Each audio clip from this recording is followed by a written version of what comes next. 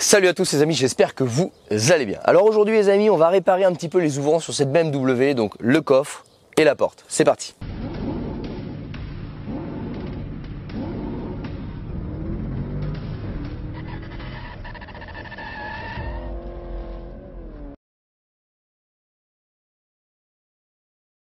Les amis, avant de démarrer, je souhaitais remercier le partenaire de cette vidéo, Autodoc. Les amis, Autodoc, c'est un site de vente de pièces détachées automobiles présent dans plus de 21 pays en Europe. Autodoc dispose d'un site internet mais aussi d'une application avec des prix vraiment attractifs. Autodoc dispose aussi d'une chaîne YouTube qui vous permettra de monter facilement vos pièces vous-même grâce à de nombreux tutoriels. Si vous avez un souci pour trouver votre pièce automobile, n'hésitez pas à y aller conseiller directement par téléphone sur le site autodoc.fr. Et les amis, en ce moment, l'opération Black Friday est lancée sur le site Autodoc, donc pensez à démarrer votre application pour vérifier les offres chaque jour qui tombe. Les amis, bien évidemment, tous les liens seront en description de la vidéo et c'est parti, on lance la vidéo. Go Oui les amis, effectivement, vous le savez, quand on quand on a acheté ce véhicule-là, on avait plusieurs problèmes. On avait le coffre qui ne s'ouvrait pas, alors qu'il ne s'ouvrait pas uniquement avec le bouton ici, vous le voyez, le bouton ne fonctionne pas. Par contre, il s'ouvre avec la clé et il s'ouvre également avec le bouton d'ouverture à l'intérieur. Donc je pense sincèrement que c'est le bouton qui doit être remplacé pour la simple et bonne raison qu'ils avaient ajouté une petite caméra ici qui est intégrée au bouton et je pense sincèrement que ce bouton-là ne fonctionne pas du tout, étant donné que la caméra, elle aussi, ne fonctionne pas. Vous avez été très nombreux à me parler des euh, conduites électriques ici euh, qui passent tous les interrupteurs, etc. On verra peut-être dans un second temps, mais pour 8 euros, je préfère commencer par changer le bouton plutôt que de m'embêter à tout démonter parce que j'ai de fortes suspicions sur ce bouton là. Les vérins de coffre sont totalement HS également. Il tient debout mais il ne s'ouvre plus donc du coup on remplacera les vérins de coffre. Et surtout la grosse problématique c'est cette portière qui ne s'est jamais ouverte. Donc en fait l'ancien propriétaire m'a dit que ça file avec la quai et que depuis eh bah elle ne s'ouvre plus. Alors c'est vraiment un problème étrange puisqu'en fait quand on fait ça, on voit bien le loquet ici qui navigue, donc ça veut dire qu'il y a bien une tringlerie qui fonctionne, et pareil à l'intérieur. Donc je pencherais pour soit un truc grippé, soit un truc coincé, genre un, enrouleur de ceinture ou je sais pas, ou euh, une sécurité enfant qui aurait grippé. Voilà, c'est le genre d'idée que j'ai. Donc là on va démonter toute la banquette parce qu'il va falloir démonter le panneau de porte pour accéder à la tringlerie et voir un petit peu ce qui s'y passe. Donc les amis, c'est parti, on attaque par la réparation du coffre et après on s'attaque à la portière. Go. Donc là vous voyez, c'est des, euh, des petits vérins où on a une fixation ici, alors un petit circlips avec un axe. Et ici, bah, c'est standard, hein, c'est ni plus ni moins qu'une rotule qui vient se verrouiller dessus. Donc c'est parti, on va commencer par ça. Voilà, on retire la petite bague. Ici, on passe un tournevis derrière. Hein. Tous les vérins fonctionnent de la même façon. On passe un tournevis ici, on vient libérer la petite boule et on tire. Voilà, puisqu'il me gêne et hop. Vous voyez en fait vous avez une petite agrafe ici qui vient verrouiller votre tête. Donc vous défaites l'agrafe, hop, et après la tête est libre.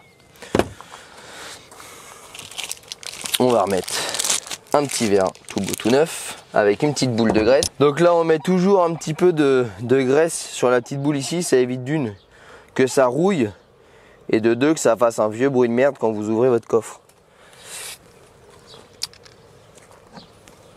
Hop.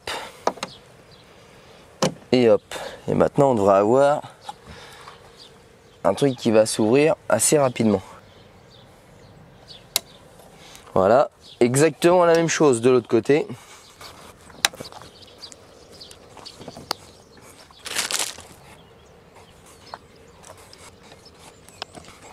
Voilà, alors on va tester un petit peu l'ouverture. Donc là maintenant on va tester, voilà, là on a une réelle résistance. Voilà, là on voit bien que ça ouvre. Donc là, je ferme et si j'ouvre, voilà, il suffit normalement juste d'amorcer la montée et voilà, ça s'ouvre tout seul. Chose qui ne se faisait plus. Bon là, ça ouvre vraiment tout seul pour le coup. Mais en tout cas, ils sont efficaces. Donc avant, ils, maintenaient comme ça, mais en fait, il, fallait faire toute la montée. Là, on voit bien que ça pousse fort. Hein. Voilà, je suis obligé de l'amortir, sinon... Euh. Maintenant, les amis, on va s'attaquer au petit bouton ici. Donc vous voyez, ils ont mis une petite caméra ici. Ça, c'est un machin euh, Wish AliExpress, j'en sais rien. Mais vu que la caméra ne fonctionne pas et n'est même pas compatible avec l'autoradio, j'ai quand même de fortes suspicions que le bouton soit la cause du problème.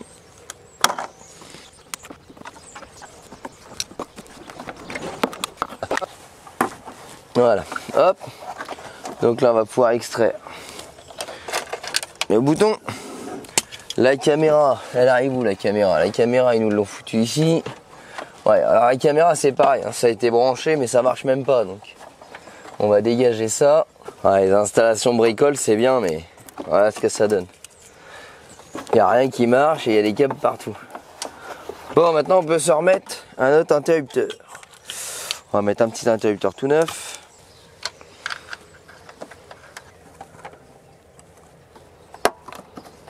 Là seulement, si ça marche pas, on avisera. Bah, avant de tout remonter, on va tester. On va voir si ça fonctionne. Donc normalement, si je verrouille le coffre, voilà, et que j'appuie, et eh ben ça ne marche pas.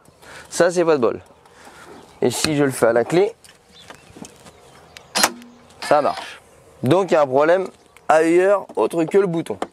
Bon, le bouton de toute façon était totalement pourri et cassé, vu qu'il n'y avait même plus de joint d'étanchéité. Donc c'est pas plus mal. Mais maintenant on va se pencher sur le fait qu'on n'a pas de courant qui arrive. Donc là on va venir contrôler en fait si on a une continuité du courant sur le bouton pour voir si ça fonctionne. Et j'ai peut-être trouvé ma panne quand je vois ce genre de choses à l'intérieur. Ça a été encore bidouillé ça. Quand je vois l'amas de scotch ici, je me dis qu'il y a encore des chances que Joe Labidou soit passé par là. Voilà, bon. Peut-être pour ça que la caméra ne marchait pas non plus. Vous voyez, tous les fils sont coupés. Ah bah non, c'était pas prêt de marcher. Il aurait fallu que ça aille jusqu'à l'autoradio pour que ça marche un jour. Bon, voilà. Franchement les gars, c'est pour faire du boulot comme ça, faites-le pas quoi. Vous allez gagner du temps et de l'argent. Je pense que juste les mecs quand ils ont essayé d'installer le truc, ils ont fait que de la merde. Mais tout le système qu'il y avait dans le coffre de boomer et tout, c'est pareil, hein, ça, ça marchait pas, c'était même pas branché. C'était branché sur la batterie et tout, mais il y avait absolument rien de branché jusqu'à l'autoradio. Ah, allez-moi les gueules des fils. Allez, il y a les fils de coupé. Pas étonnant que ça marche pas. J'ai de fortes suspicions qu'on arrive.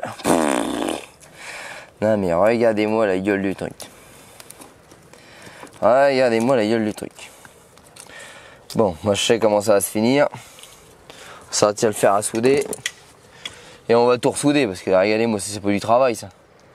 Allez file. C'est pas du travail ça sans déconner. Qu'est-ce que vous voulez que ça marche? Marchera jamais de la vis. Bon, je vais chercher le poste à souder et on va refaire des soudures complètes parce que là, ça je laisse pas ça comme ça. Si on reprend les fils, ici on a un marron et un jaune gris. Ici, on a un vert gris. Jaune gris, il est là.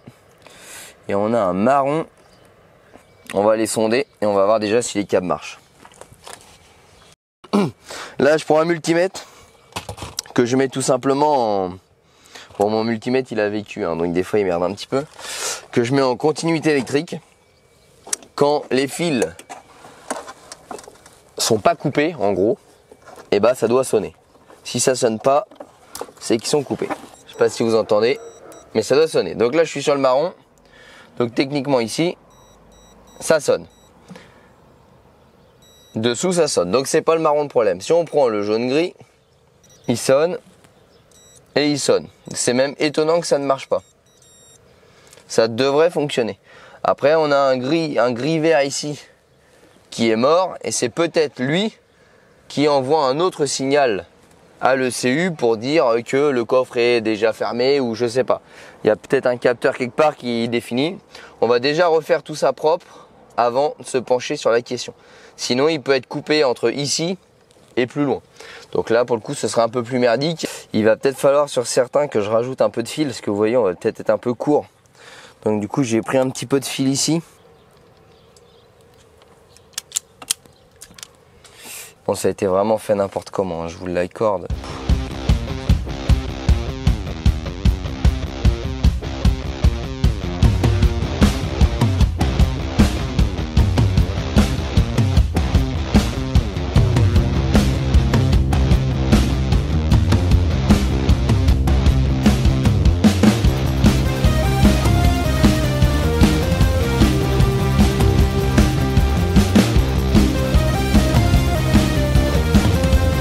Les amis, j'ai une bonne et une mauvaise nouvelle. La bonne, c'est que j'ai terminé de tout ressouder, c'est quand même beaucoup plus propre. Euh, la mauvaise, mais qui est aussi une bonne, c'est que j'ai trouvé la panne, puisque regardez le fil que j'ai ressoudé ici marron de l'interrupteur, bah, en fait il était aussi coupé plus bas. Donc il avait été remis comme ça. Donc euh, regardez à distance, le problème c'est qu'il faut que j'arrive ici. Donc euh, la panne je l'ai trouvée, elle était bien là-dedans, ça a été arraché. Donc là on a refait tout ce côté là propre. Maintenant je ne sais pas si je vais réussir à enrouler ça pour aller récupérer mon bout de, câble. Donc là malheureusement sinon je vais devoir faire une incision Bon, en fait, la petite technique, c'est que j'ai déboîté du coup la gaine euh, de l'habitacle pour pouvoir lui faire une incision, vu que dans l'habitacle, on craint pas les infiltrations d'eau. Donc, je voulais vraiment pas le faire sur la partie extérieure. Donc, on a fait une incision, on a réussi à retrouver le câble qui était coupé. J'ai repassé un câble dans la gaine, donc de, l'autre côté ici, là, euh, vers ici, un câble noir. J'ai refait une soudure et en fait, je vais venir bah, en lieu et place remplacer mon câble. Donc là, on chauffe la gaine thermo. Là, je retire Hop, comme ça j'ai mon nouveau câble qui est tout beau tout neuf. Je remboîte. Voilà, comme ça on craint pas l'humidité. Et là du coup je vais revenir reprendre directement sur ma soudure de tout à l'heure pour pas euh, laisser une deux soudures dessus quoi. Ça me sert strictement à rien. Donc là on va tout reprendre en propre.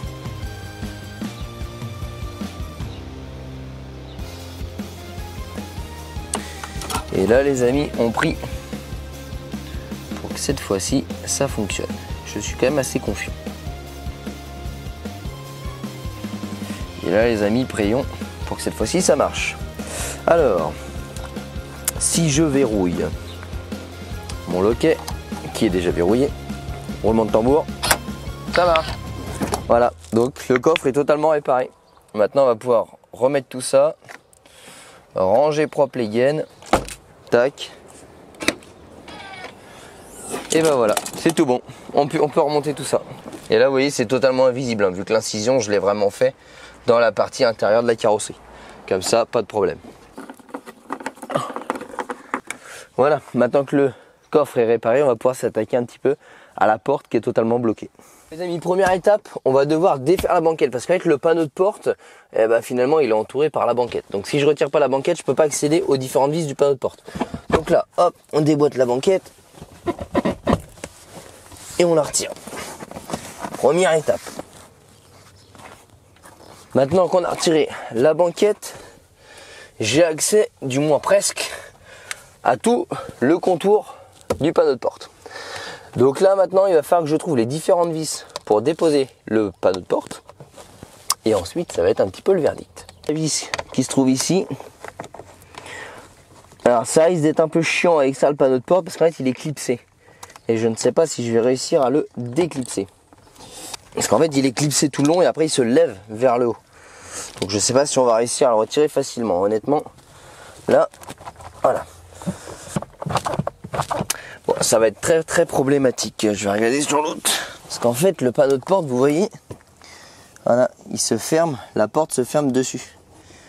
Ce qui fait que je ne peux pas le déclipser là, j'ai vraiment pas idée de comment je vais pouvoir démonter.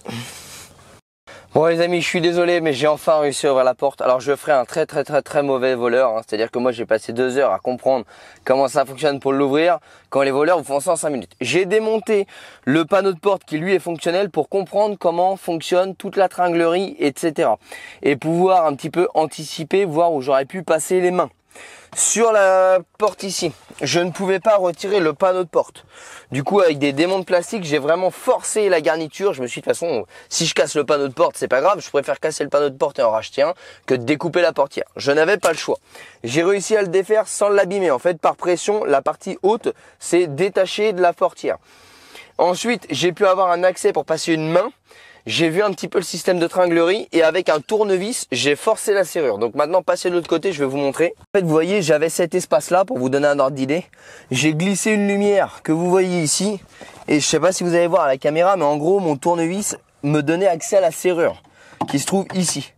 Du coup, j'ai réussi à faire levier avec un tournevis et ça a déclenché et on est pile à ce moment-là. Donc là, les amis, on va ouvrir la porte et on va pouvoir terminer de retirer le panneau de porte et découvrir ensemble le problème. on va regarder un petit peu le problème. Donc là, la clenche se trouve ici. Je sais pas si vous allez bien voir dedans. Là, on a accès à la clenche. Le problème, c'est que lui, quand on fait ça, il fonctionne. Donc la partie qui se trouve ici, que là vous allez difficilement voir. Et je ne comprends pas pourquoi ça n'ouvre pas ma portière, parce que lui fonctionne parfaitement. À l'inverse, lui était totalement grippé. Et en gros, la porte tire le câble, mais ça ne tirait pas suffisamment pour débloquer. Donc là, j'ai réussi à débloquer en passant un tournevis. Je vais vous montrer pour ceux à qui ça arriverait. J'ai passé mon tournevis comme ça et j'ai en fait forcé, voilà, comme ceci pour déclencher ma porte. Donc là, je vais carrément démonter la serrure et on va regarder un petit peu ce qu'elle a.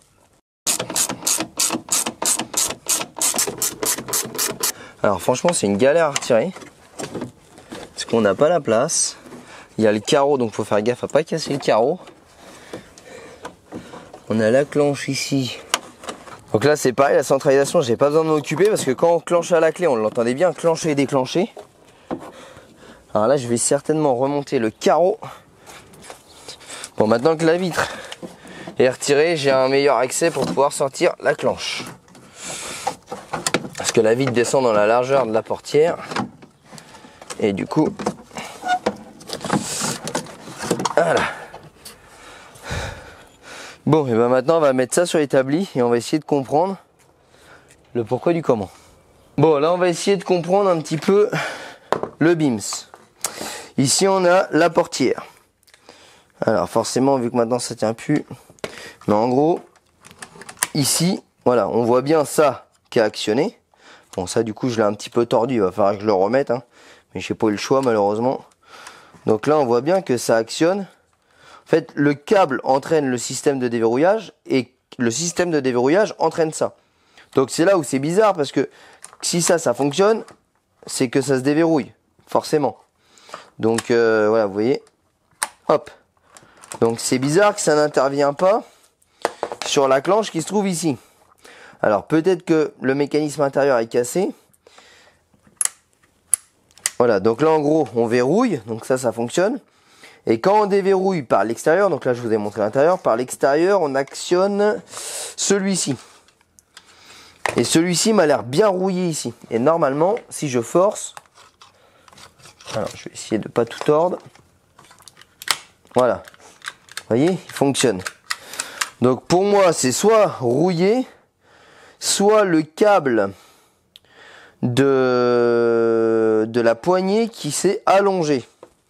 En tout cas, c'est un truc de merde.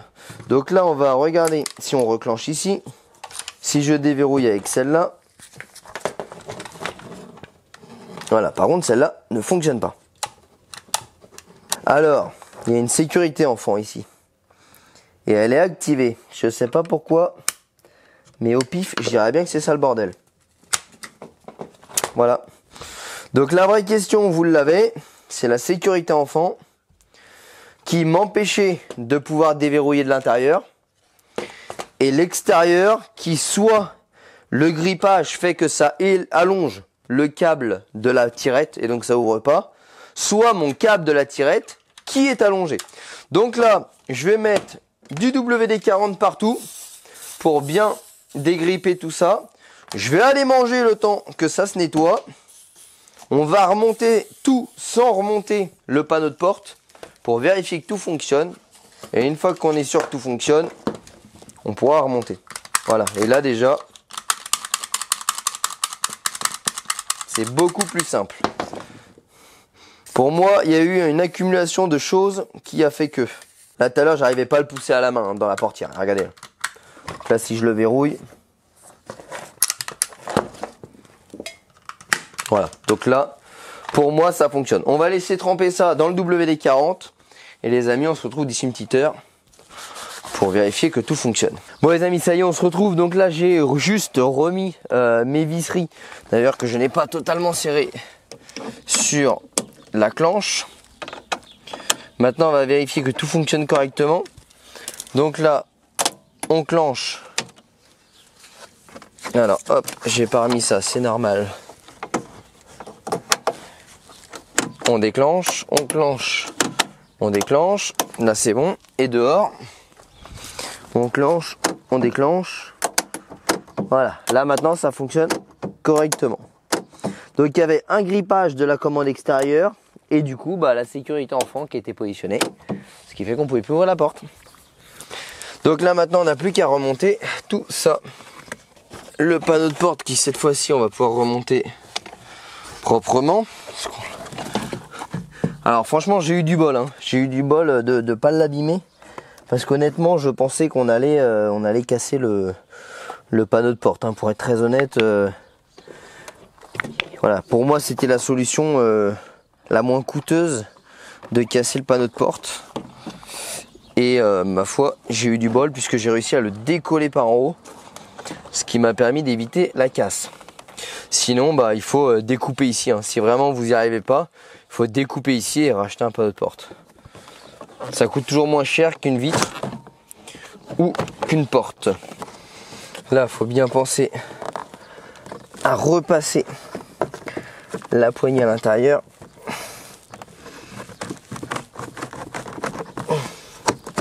Voilà. Et là, on peut reclipser.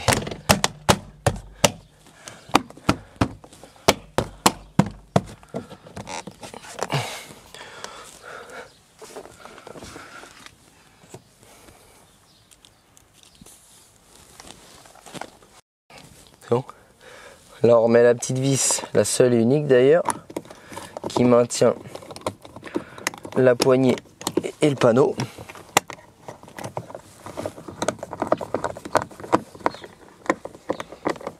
Voilà. Le petit cache. La lampe, je l'avais pas retirée. Là, il nous reste sa petite baguette de finition qu'on vient repositionner. Alors elle, je l'ai retirée hein, en espérant avoir accès à des vis, mais c'est absolument pas nécessaire. Bon, donc là maintenant qu'on a remonté la serrure, le panneau de porte, on va quand même vérifier avant de fermer la porte que ça fonctionne. Donc là, je clenche, ça déverrouille. Voilà, donc là j'en ai profité, j'ai quand même graissé l'autre euh, parce que pour moi c'est clairement un problème de grippage et du coup on force, on force, on force, et à la fin on pète tout. Donc là l'autre je l'ai graissé en même temps, là ça marche. Maintenant extérieur, on clenche, voilà. Donc là, les amis, verdict. Roulement de tambour.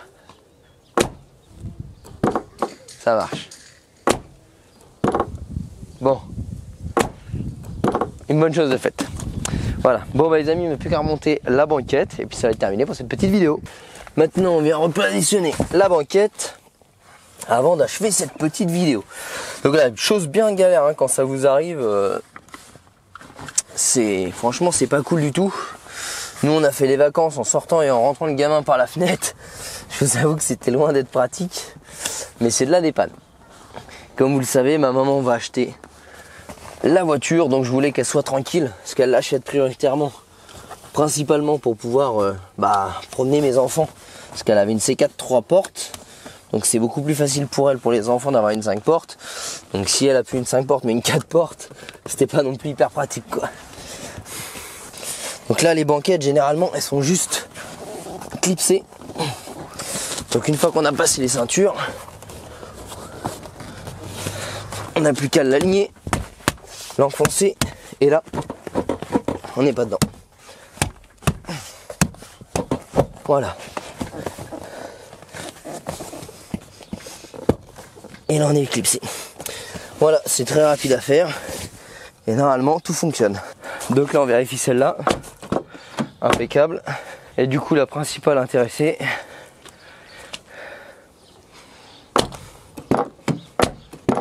impeccable. Ouais ben les amis, ça y est, ça se termine pour cette petite vidéo. Donc sur, sur, la réparation de la porte arrière et du coffre. Donc au final, la petite maladie sur le coffre, c'est bien les fils qui se coupent dans la gaine à force d'ouvrir et fermer le coffre. Ça, ok, vous aviez raison.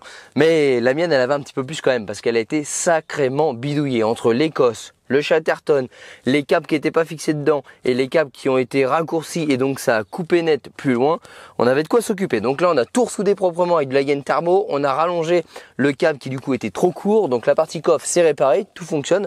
On a profité pour remplacer également le fameux bouton qui était défectueux de base puisqu'il n'y avait plus de joint et le bouton prenait la flotte. On a profité pour remplacer les petits vérins de coffre et maintenant ça s'ouvre impeccable. Et surtout le lourd de la vidéo, le problème de serrure. Je vous avoue que j'étais pas non plus rassuré rassurer, je suis pas un voleur expérimenté, mais euh, le fait de ne pas pouvoir démonter le panneau de porte de l'intérieur m'a quand même fait transpirer parce que je me suis dit que j'allais quand même devoir à un moment euh, péter le panneau de porte pour accéder à la tringlerie de la porte. Au final, pas de tringlerie cassée, pas de serrure cassée, juste une serrure grippée et une sécurité enfant mise. Ce qui fait que la seule serrure qui n'était pas grippée, bah, elle était verrouillée par l'homme. Voilà, donc euh, les amis, faites très attention, pensez à graisser vos serrures avant d'utiliser la sécurité enfant, sinon bah, vous pouvez vous retrouver dans exactement la même galère que j'ai eu. Et eh bien écoutez les amis, j'espère que cette petite vidéo vous a plu, j'espère surtout qu'elle pourra en intéresser plein d'entre vous qui ont potentiellement ce problème d'ouvrant et de serrure. Les amis, n'hésitez pas à nous rejoindre sur les réseaux sociaux Facebook et Instagram. Tous les liens sont en description de la vidéo. Et surtout, les amis, pensez à vous abonner à la chaîne YouTube pour recevoir les notifications pour les prochaines vidéos. Allez, les amis, on se retrouve très prochainement. Ciao